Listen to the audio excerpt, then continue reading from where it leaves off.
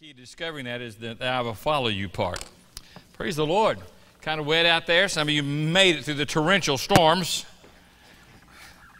Having a baptism at the end of the service today. To the person who's being baptized, I want you to know this lesson in being baptized, being baptized has some great truths about the new life in Christ, but it also means you can come to church when it rains and it won't hurt.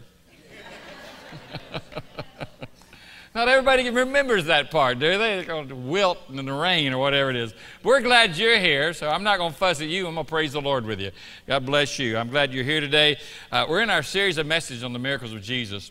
Uh, before I get into the message, I, I, want us just to stop and have a word of prayer. There's just been so many things going on in our country and our land, our city. We've lost fire, four firefighters and uh, some others that are still critically ill. We've held these catastrophes in Oklahoma and to the Midwest. And there's a lot of people hurting today. And I think it would we'd just be wrong if we didn't stop here and thank God for His grace and His mercy and pray for people's uh, situations. God would comfort them with their losses and heal those who are sick and just minister to so many that are hurting so much today. Uh, we know what it's like to go through difficulties and tragedies and storms and crisis, but uh, there's some heavy, heavy clouds looming, not just in the in the physical way in people's lives today, but in a very emotional way and a spiritual way. So let's just lift up folks. If you want, just bow your heads and pray for folks. Pray for these firefighters who, whose families are just been devastated at this time. Others who are still struggling in the hospital, and all these families who lost so many people in Oklahoma. Father, Lord, it's we look at the catastrophes and the disasters that are around us. And know, Lord, that even though we might be untouched and grateful and thankful, there's so many today who are suffering. And so many that are hurting. And so many that have lost so much. Lord, I just pray that your Holy Spirit would minister to these families, hover over them with mercy and grace today. You are called in the New Testament the God of all comfort. And Lord, we just pray for your comforting hand today to be upon these lives and your healing hand. Lord, there's so many who sacrifice, especially in regard to these in Houston, so much for so many, and many times they're overlooked. And we're reminded in times like these the danger and the price and the sacrifice that's made. Thank you for these, Father, and minister to all these responders and rescuers and firemen and policemen, Father, who stand the front lines every day and do things we don't even see. Minister in your great peace to so many hearts. Strengthen them. Look to you over the next days and weeks for you to continue to minister and draw them to your side and show them your nearness. In Jesus' name, amen. Amen. Continue to keep these folks on your, your prayer list and on your hearts and minds. Uh, as we all do. Praise the Lord. The miracles of Jesus that we've been discussing, in fact, we're getting to number 11 today in this series. We'll have about four more. Of course, there are many more miracles in the New Testament that we haven't touched, but trying to get the, the ones if there was, you know, someone who was blind whose eyes were open, there might be four or five of those. We'll try just to focus in on one of those. But uh, when we get to this feeding of the multitude miracle, there's there's, there's some things I want to cover today that we kind of haven't got into in regard to the ministry of Jesus, into what's going on. When you get to this place of the miracles, we're about two years into the ministry of Jesus. And this miracle is very poignant and very powerful, and we'll, we'll, talk about that in just a moment. But it's in Matthew 14. We're going to read from that particular passage in regard to the feeding of the multitude. And I call it the feeding of the multitude because even though it says there were 5,000, your Bible might say the 5,000 fed, Scripture makes it clear that there were much more than 5,000, at least 5,000 men alone. So as we get into this in Matthew 14, it says, And when he went ashore, he saw a great multitude and felt compassion for them and healed their sick. And when it was evening, the disciples came to him and saying, This place is desolate, and the time is already past. So send the multitudes away that we may go into the village and buy some food they can buy some food for themselves. By the way, just to stop right here, this is the disciples telling Jesus what to do. you'll see that it is completely ignored. In fact, you may have discovered in your own life when you take the time to stop and tell Jesus what to do, it's completely ignored. it's not that he doesn't hear it, there is no plan B, which is your plan. There's plan A. And you'll see this as we read through this. It says, But Jesus said to them, They don't need to go away. You give them something to eat. And they said to him, We have here only five loaves and two fish. And he said, Bring them here to me. And ordering the multitudes to recline on the grass, he took the five loaves and the two fish, and looking up toward heaven, he blessed the food. And breaking the loaves, he gave them to the disciples, and the disciples gave to the multitudes, and they all ate and were satisfied. That's a miracle. And they picked up what was left over of the broken pieces, 12 baskets full. And there were about 5,000 men who ate, aside from the women and the children. All right? Now, this particular miracle in the feeding of the 5,000 is the only miracle that is listed in every gospel of the New Testament. When we've gone through the miracles of Jesus, we've seen that some of the gospels, one would have one and the others wouldn't have it, or two of the gospels would have a miracle and the other two would not have that particular one, or three. But this is the only one singular miracle that is mentioned in every gospel. And I don't think that we need to run over that too quickly. We need to stop for a minute and try to figure out why is that this miracle so important that the Holy Spirit inspired it to be written in every gospel of the New Testament. Because that's, that's important. And I think it's important because there's some lessons that, that really need to be grasped here. Remember, in talking about the miracles, we've said that. Uh, there's basically two things we look at. We want to look at the, the miracle itself and how it testifies to the fact that, uh, uh, of the deity of the Lord Jesus Christ. That here's God in the flesh. Jesus is not just a man, He's God. He's the God man, He's the man God. He's all God, He's all man, but yet He's the God man, man God. You, if you think you understand that, just hold on, I don't either. All right? So, anyway, it's, it's, it's the incarnation. God is veiled in flesh. Now, as I said, he's two years into this ministry. Two years. He's been teaching his disciples. The beginning of the ministry, calls them, they're following him. They've witnessed miracle after miracle. They've seen action after action, supernatural thing after supernatural thing. They've seen him speak to the, to the, the very elements of the wind and the waves, and I mean, just settle it. They've seen him turn water into wine. They've seen dead raised, sick healed, blind eyes open, lepers cleansed. I mean, it's been one thing after another. But this is an important place in the ministry of Jesus. Two years into it, let me give you a, kind of a brief scenario of what's happened. Remember when Jesus began this extensive Galilean ministry? It, it was everything was public. All right, uh, the Lord sought the crowds. He went to the town and city to city, and as he went, he the miracles were performed. He he proclaimed the gospel everywhere he went. I mean, he openly manifested himself before all the people of Israel, and he offered them the opportunity to follow him, to to receive the message of the kingdom. Uh, and we know from the very earliest days that the, the religious leaders were very skeptical. They, they didn't really uh, receive him. Uh, they, after becoming skeptical, then they become unfriendly. Now, two years into it, they're becoming more hostile. Uh, the clearer Jesus' message became, more obvious what he was saying to the people, the, the higher the flames of their opposition rose. They just were rejecting the Lord Jesus Christ. Now, if you look right before this, because in all these things we've not only talked about the miracle itself, but the lesson, Jesus has just received the word, and the disciples have, that John the Baptist has been beheaded. Herod has taken his head, all right? And so, with the death of John the Baptist, and Herod's fear that Jesus was John returned from the dead and somehow reincarnated into the body of Jesus, uh, there's this not only this religious antagonism, now there is a political antagonism. So there's a lot of pressure that's coming off uh, uh, onto the disciples and the Lord Jesus. And Herod probably would not, at this point, have hesitated to take the life of Jesus just like he did John the Baptist. So there's this, there's this whole uh, atmosphere that's kind of changing about the ministry of Jesus Christ. In the city of Nazareth, his, his own town, he's already been rejected twice. And now it seems to kind of be pouring out into to, to the, the, the reaction. The reaction from the crowds is, you know, that uh, is, there, there's this reaction that it's becoming kind of fickle. It's mixed. Even though that, uh, uh, you know, they rejected the, the Nazareth, uh, the, the folks from Nazareth, they're, they're still fascinated. They still want to watch the miracles. You know, even though they tried to kill him at one time, they're still kind of watching with awe this young boy who grew up in their city. But here we are, Jesus is in his ministry, and there's this opposition in the religious realm, there's opposition on the political stage.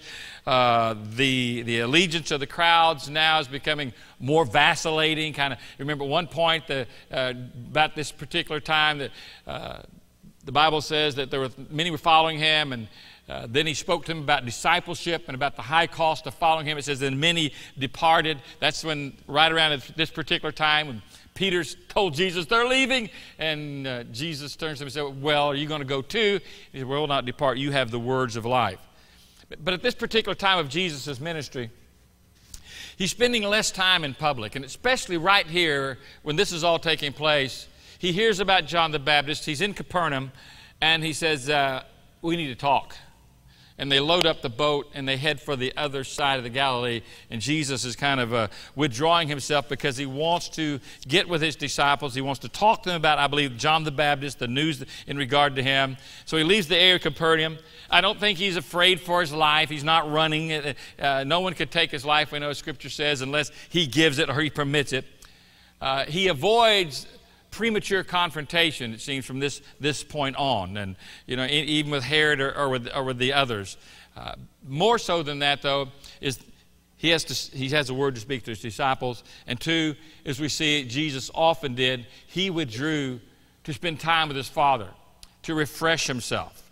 So when the multitudes are gathered there and they're watching Jesus, here comes someone bearing the news of John. He turns to his disciples and we're going to the other side. We, we need to go. Uh, he's taking them to, to speak to them.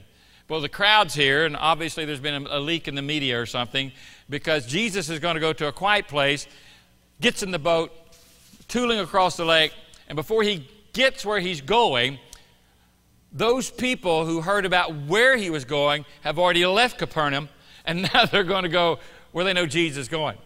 And so there's a group of people now thousands literally, and it probably grows as they go from village to village. And people say, Where y'all going? And they tell them. Now, up to 5,000 men alone, probably, as one theologian said, probably closer to 25,000 when you had all the women and all the children and all the people who are coming to hear him. So in Matthew 14 13, it says, Jesus gets in the boat and they follow him on foot. Maybe they're watching him as he's crossing the sea. We don't know. It's, I've told you how big the Galilee was. You can probably see the boats from most locations. But anyway, they're arriving there. And of course, as they're getting there, then, then the sick are arriving, and those who are a little slower, you know, uh, they, that had seen him, you know, uh, perform the miracles, they all are kind of getting there. And uh, they're not there for, for spiritual reasons. You know, they're, they're kind of a circus atmosphere. They want to watch him perform the miracles. So even as they go there, Jesus on the boat with the disciples, even as they're going there, their motives aren't exactly pure. They're going there, and Jesus spoke to them about that before. They're just going there so they can get something from the situation.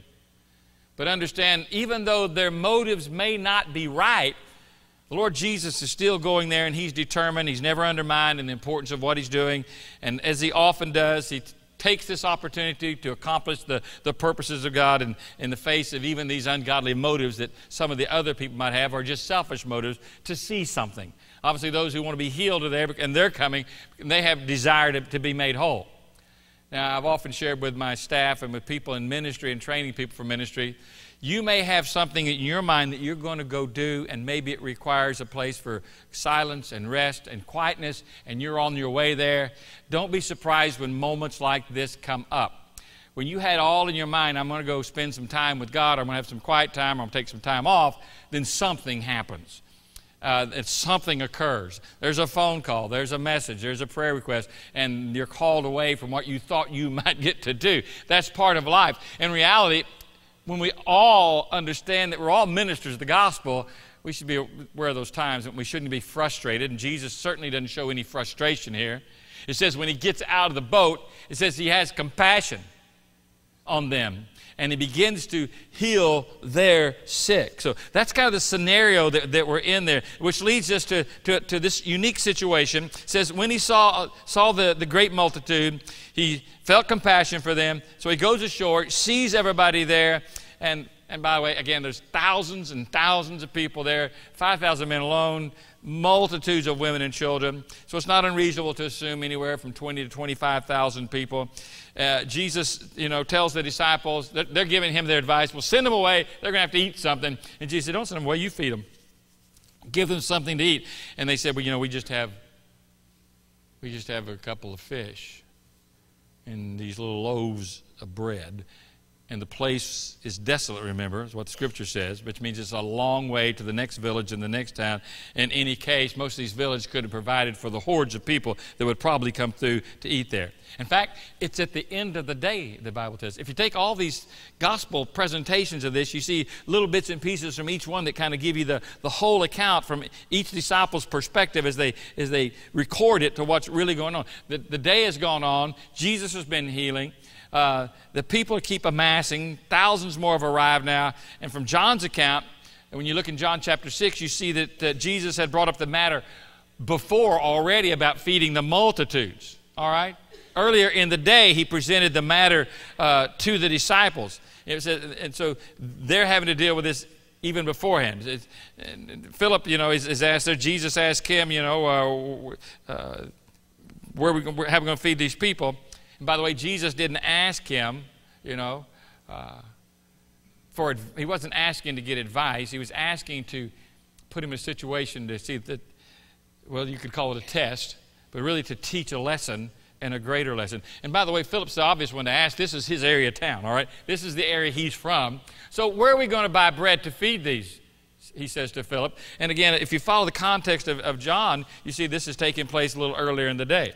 Now, Philip being from that area, you think, he, you know, well, we're, we're going to have to, we're going to have to do something here. And their advice is, let's just send them away. Why? Why send them away? There's a lot of people here. This is not a small group.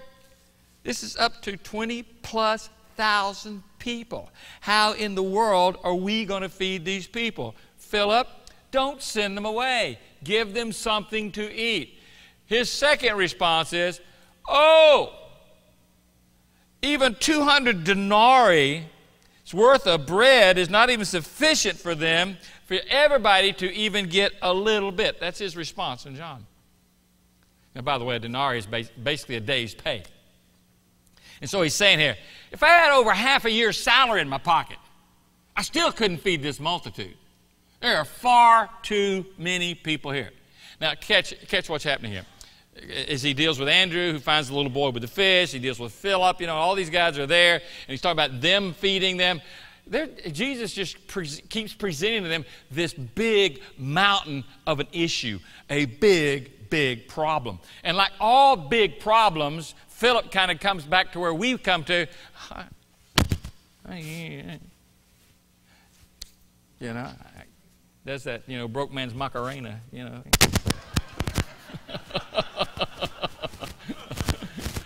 I got nothing but a big, big problem. But how many times do you look at a big, big problem and you start counting your money? Or lack of money? How many times thought, well, if I just had the money, we could deal with this?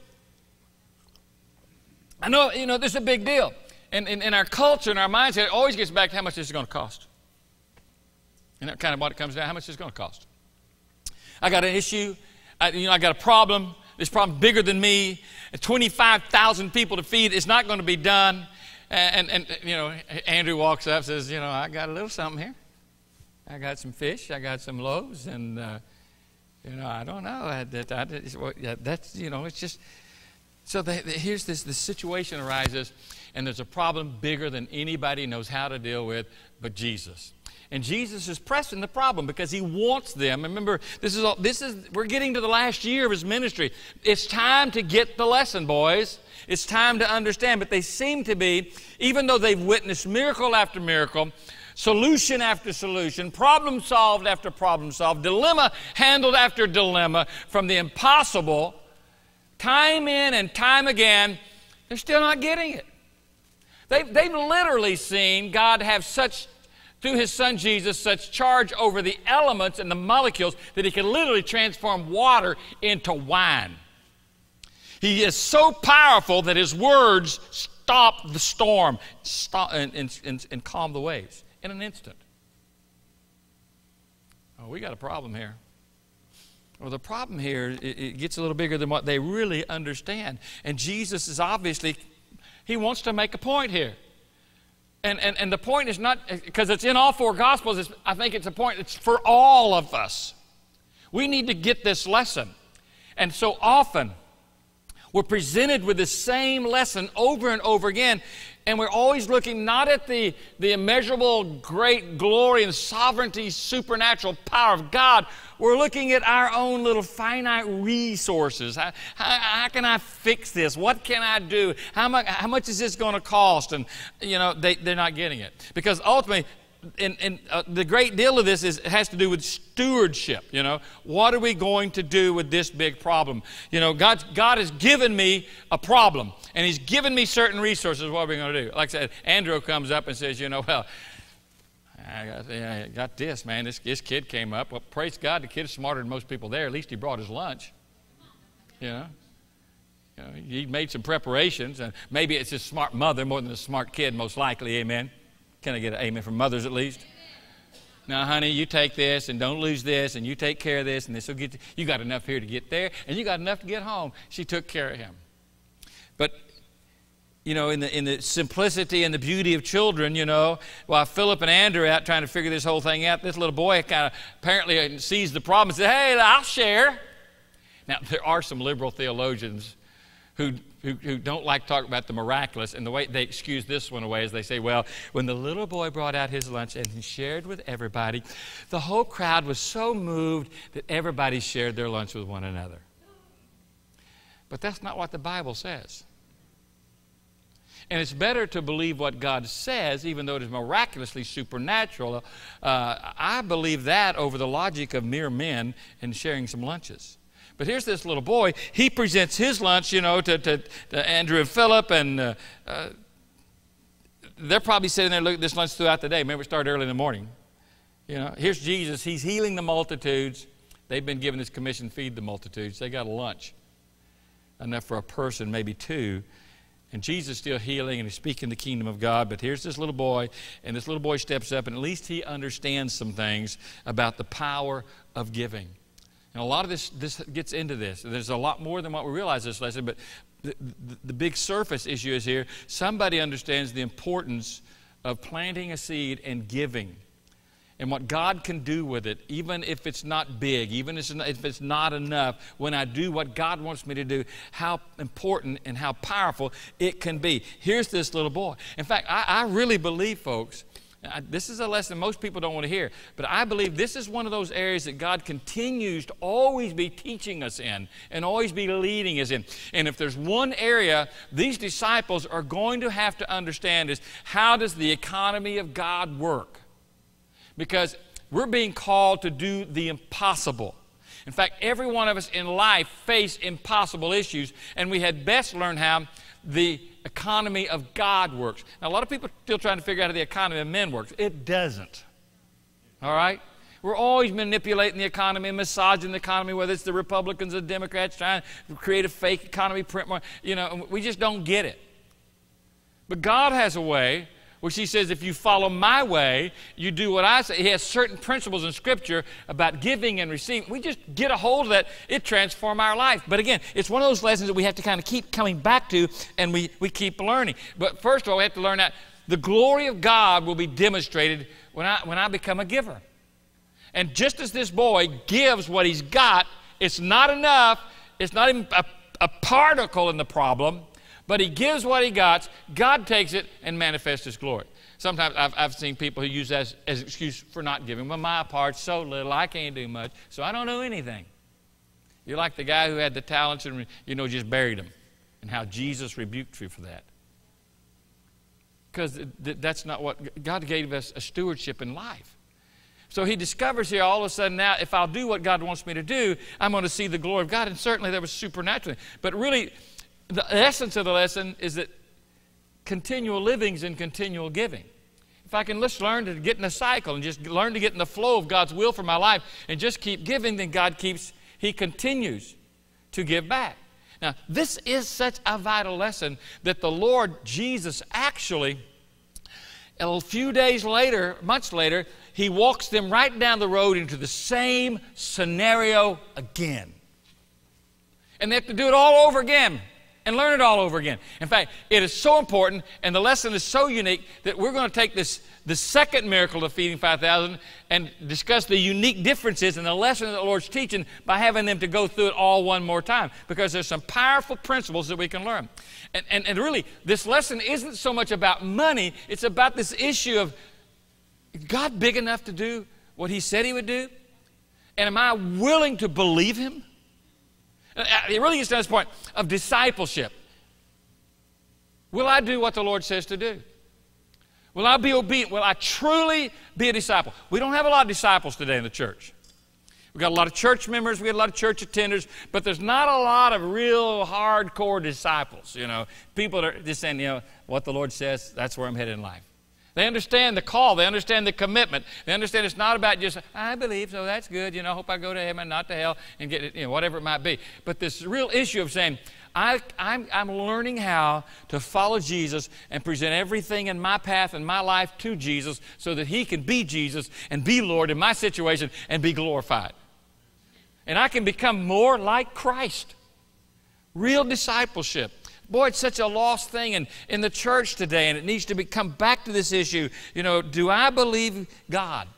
Up in the little things. Is it really more blessed to give than it is to receive?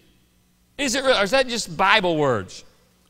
I mean, when life's troubles come, when the insurmountable problems come, what do we do? We, we kind of look back and count. Uh, yeah, I, I, was thinking about this this, this this week and this little and this little boy and his food. You know what brought him to this decision and maybe what he had to go through. He, you know, he could have been like most little children. I just want to help. You know, just one of those kind of kids that just hey, I know it's not much, but here, hey, I, I, I'll share.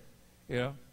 Now, if you brought him into the, this unique capitalistic world that we live in today and planted him in our culture today, he'd probably be sitting there in the crowd with his little iPhone calculator. Let's see. I've got two fish. Each fish can sell for. Let me Google up what the average fish sells for today. Okay, that's five bucks a piece hey, let's see, five bucks a fish. What if I cut them into fish sticks? I can sell each stick for five bucks a piece. And then the bread, how much is a loaf of bread? Well, let's multiply. I got five, five times five. Well, if I slice those up, I can multiply that. How can I take what I got and make some more with it? How can I turn this into money? Now, praise the Lord, I believe God gives us the ability to do that. There's also God's given us the call to share the call to, to, to give, the call to love, the call to meet a need. And he gets it, and he presents it. Jesus said, You bring them to me. You know, what happens when we have these issues like this that are big? Sometimes we, we just, we, we don't get it. We don't get it. We had a benevolence that was presented this week, and Tim was talking to me about it. I said, Yeah, let's, let, we need to give some money to that. And I said, Especially because we need some money. Some people don't get that. You know, they don't get that. If I need something, why in the world should I give something? Because I understand that in giving, I'll receive. You reap what you sow. Don't you love that story where Jesus is telling about the parable of the sower of the seeds? And there's several versions of it through the gospel. One version of it, he's talking about the farmer. And how the farmer goes out and he puts the seed in the ground, and the seed dies, and the seed brings forth fruit, and, and a harvest is created. And it says a little line like this But the farmer knows not how, but the life is in the seed. In other words, God put a principle into motion. You call it a law, if you would. like a law of gravity. You throw something, something comes down, right? It goes up, it comes down. That's the way it works, unless you get on the realm of outer space. But in this space, this is the way it works. The only way you're going to overcome that is another higher law, greater law, which is the law of aerodynamics, all right? So that's just a principle. God says you give it, it should be given. Why? Because the life's in the seed. But that's any seed, according whatsoever you, you, you sow, you know, that's what you're going to reap. So if I sow, then, then I can reap from it. But if I don't sow it, then I don't reap it. And so here's a kid who gets it. But it really all boils back down to this issue of the sovereignty of God. All right? The sovereignty of God. God was saying, don't send them away. Why? Because I'm the need meter. Don't send them someplace that the need's not even going to be met. You already know that if they leave here, there's not one village around here that can sustain this kind of crowd coming into that community, hungry looking for food. Don't send them away. Leave them here. Why? Because you are standing in the sovereignty of God. You're standing in the omnipotent presence of God. Don't send them somewhere else. The answer, well, we only have two, you know, five loaves and two fish you know, I, know that most of us have this this inflated spiritual idea of ourselves that's not always true. It's like, boy, if I was there, I'd have told those disciples, don't be so stupid. Hello. If you were there, you'd be doing the same thing. Because listen, we do the same thing right now. Oh, let's see, how can we figure this out? What can we do? How can we meet this need? How's this going to work? I, just I can't do this. Not, I don't have enough money. I, and we have all these answers and we don't realize. It's kind of like, you know, I'm just, it's, it's kind of like standing in front of Niagara Falls and saying, Boy, I'm thirsty. I wish I had something to drink. you get what I'm saying? They're in the presence of divinity. They're in the presence of a supernatural and holy God. And he says, hey, here's, what the, here's, here's how we're going to resolve this problem. You know, you, you might not realize the whole thing, but here's what I want you to do. You bring it all to me. Whatever we got, bring them here to me. Bring them here to me. Because when I place it in his hand, things can begin to happen. Because Maybe you don't believe it, but I do believe with all my heart that not only do we sense this and see this physical world that's around us right now, we can reach out and we touch, we tell, we, we, we, we see, we, we, we kind of compute everything on the basis of what our senses say, you know. Uh, but there's another world in operation besides this physical realm, and it's a spiritual world. And even though we can't smell it and see it and taste it and feel it, it's still real. There really is a God, a Father, a Son, the Holy Spirit, all right? There really is a devil. There really demons. There really angels. There really is an operating world all around us in this moment that is spiritual. In the physical world, well, I just got to see it to believe it. In the spiritual world, I just got to believe it to see it. All right? In the physical world, I look at my needs. In the spiritual realm, I look and see He can meet every need. In the physical world, I look, I got a problem. I got a problem solver in the spiritual realm. I got somebody who's bigger than my mountain, deeper than my ocean, bigger than my problem. He's God, God, God. And so often we, we forget to realize this spiritual world over here. When I was preaching recently on why Christians deal with suffering, I, I, used the illustration of John on the Isle of Patmos. He said, I, John, was on the Isle of Patmos on the Lord's day in the Spirit. What was he saying? I was in a physical place, I was in a spiritual place. I'm in the worst place, and you can imagine a prison island, but I'm having church. I'm walking with God. I'm in the Spirit. And so we have to somehow come back and say, well, I do believe God and whatever God is saying, that, that's what I, I, I will trust Him for and that's what I, I'll believe Him for. But we're so tempted to focus first and foremost on our problem. That's why even with issues of sins and sin and things like that, we say, well, I just can't overcome this. In reality, God's bigger than that sin. God's bigger than that stronghold. God's bigger than that issue. So he says, you bring them here to me. Obviously referring to the loaves and the fishes. What was he saying? I think he's saying something like, you know, I knew you, you, you didn't have sufficient food. Andrew, Philip. I knew we didn't have sufficient money. And I knew there was no way of getting the food or getting the money. And I never expected you to feed them from your own resources or by your own power. I'm asking you to feed them. I was asking you to trust me. Without having to tell you, I was giving you the opportunity to bring this whole problem over to me and trust me and rest in that. And so the real question is in our own life, will we learn the lesson and say, I am willing to bring it all to Jesus? And that just brings us to the last two points. One is, is this issue of service. The secret to successful service in our spiritual life is realizing that God is bigger than all these things and He is sovereign. If He's called me to do something, He's going to perform it. He which began a good work in you, He will perform it. So, what are you facing today? God's bigger than that. What are you having to deal with? God can take care of that. But the first issue in this whole idea of service is this one thing of obedience. I just need to do what the Lord said. How am I going to feed these people? Give it to Him. What's He telling me? Just bring it to Him. Bring it to Him. Whatever he's asking, whatever he's calling for, whatever he's desiring, don't make, don't, don't wait for excuses. You know, he said, hey, just tell everybody to sit down. Because 20 something thousand people are all standing trying to look, see what's going on, who's getting healed, what's happening, who's shouting, who's getting excited. You know, everybody's kind of standing around watching, listening. So Jesus tells them, to sit down, bring me the food, tell the people to sit down. And back to he says, you know, this has to what I, what I would call orderly service. If God gives you some details about what you're supposed to do, follow those details even though you don't understand them. He set them down, the scripture says, he made them to sit. The Greek word is prase, prase, which literally means garden bed by garden bed in groups of hundreds and groups of fifties. Y'all know what a garden bed looks like. You have a row of peas, you know, and you have a little place you can walk through, then you got a row of corn, and you got a little place you can walk through, you have a row of something else, you know. That's garden bed by garden bed. Now, why did he do that? Well, to be able to get to everybody and to feed everybody, he had a little order the way he wanted it done. We have aisles now that we can carry the food down and reach everyone, and everybody can be taken care of. Sometimes we don't understand when the Lord's given us some details in our life that we need to attend to, and to, that we should carefully attend to those things. The miracle was, was supernatural. It was all but invisible. He blesses the food, he gives it to them in the baskets, they start carrying it out. It's like every time they reach in, there's something there. You know? Every time they put their hand, something else comes out. Shouldn't be anything there. I just took it out, but there it is again. It comes back. There's no fanfare, no dramatic change from little to much. It's just a miracle. It's kind of almost the magnitude was was evident in the fact that everybody ate, which is the supply.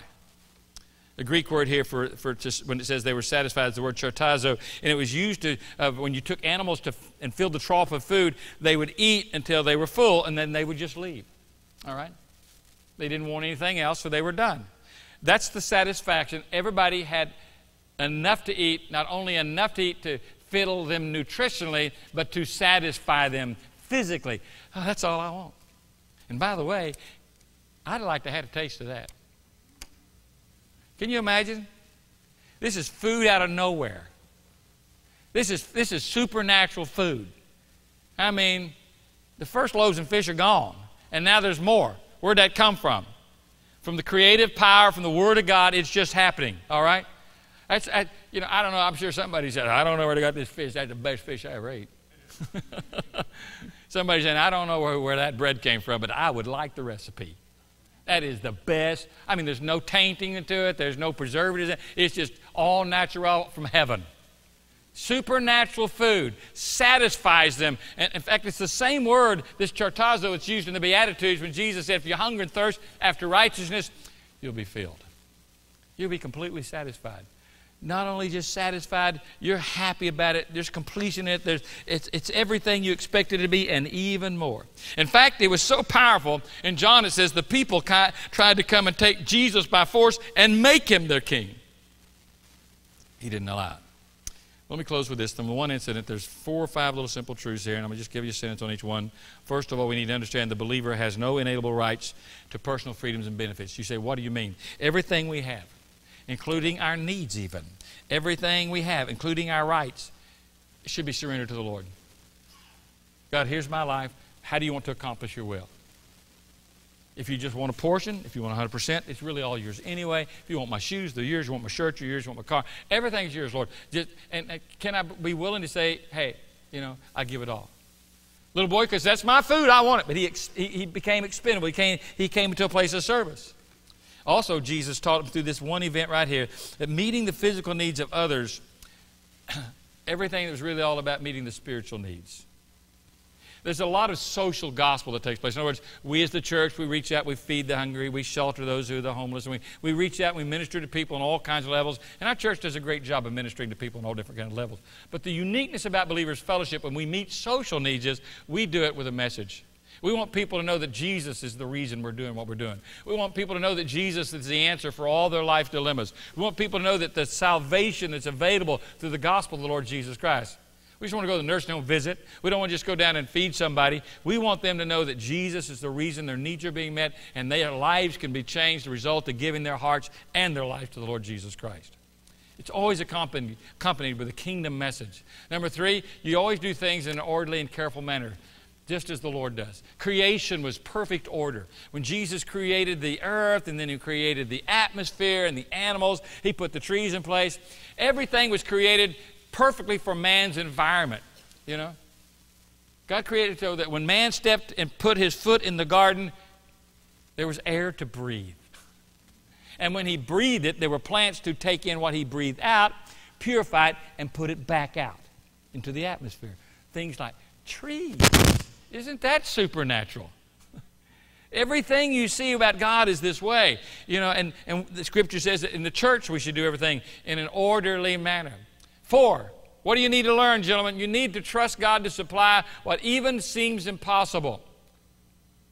Even though it doesn't look like there's any way for it to happen. Five, the plan of evangelism, the plan of redemption involves not only the witness and the work, and also the means of all of us who belong to Him. God is about changing the world around us, and it involves our lives. It involves our money. It involves our time. It involves our talents.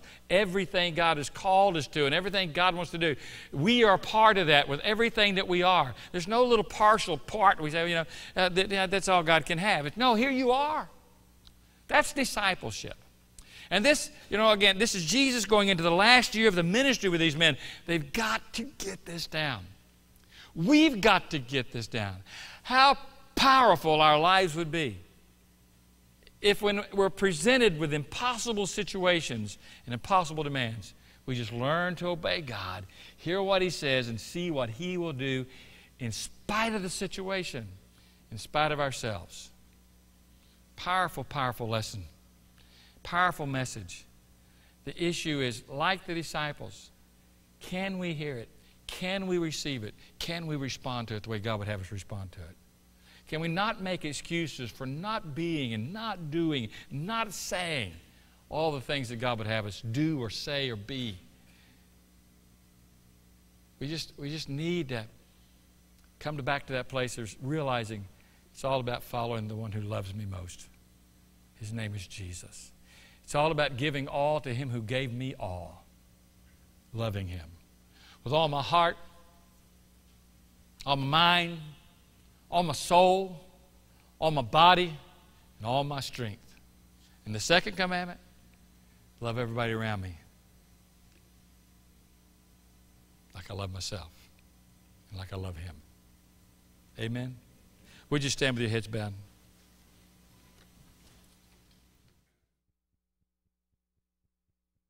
For that. And uh, Mike, it's always a great time. Micah Combs is coming this morning. To, he's given his life to Christ and uh, he's going to be baptized. Once you come over here, Micah? And Micah, won't you share with everybody uh, kind of what brought you to this point and why you get baptized this morning? Well, I just know I needed to better myself because up until now, I really didn't have any good direction in life. I've been a series of disappointments and letdowns, and I spoke to one of my friends, and he told me how the Lord had changed his life and made a diff- really big impact on him. And that Jesus loved me more than anything else in this world. So I invited him into my life and uh, be my Savior and to change my life for good. I look forward to learning how to be uh, more like him and to be a better man in the future. Amen. Praise the Lord. Amen. Praise the Lord. That's what it's all about. Like I told Micah this morning, you know, this is symbolic that he's going to go down in the water and the old Micah is dead. But praise the Lord, he's going to come up, and the new Micah is alive to walk for Christ. Amen. What a great symbolism the Lord gave us in baptism and uh, to show what we are doing when we come to know Christ. So, Micah, this morning, I baptize you, my brother, in the name of the Lord Jesus Christ, buried in his death, raised in, in his likeness. Amen.